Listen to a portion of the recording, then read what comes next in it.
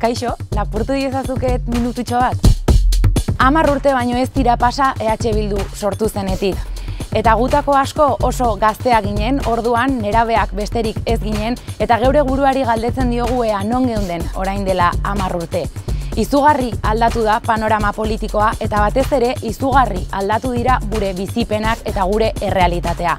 Horregatik esaten dugu gure helburu politikoan sakontzeko eta gure proiektuan sakontzeko gazteokin erabakiak hartu behar direla.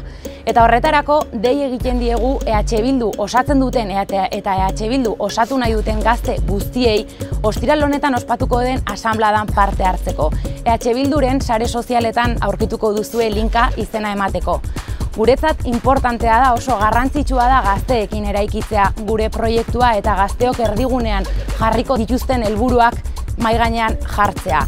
Salto bat irudikatzeaz ari gara, ez soilik denboran eman den salto bat, baizik eta gure errealitateak, gure egunerokoak, gure bizipenek izan dituzten eraldaketa horiek irudikatzeaz ari gara gure gorputzetatik, gure bizipenetatik eta gure errealitatetik gazteok erdigunean jarriko dituen proiektu amankomun bat, proiektu kolektibo bat eraiki behar dugulako.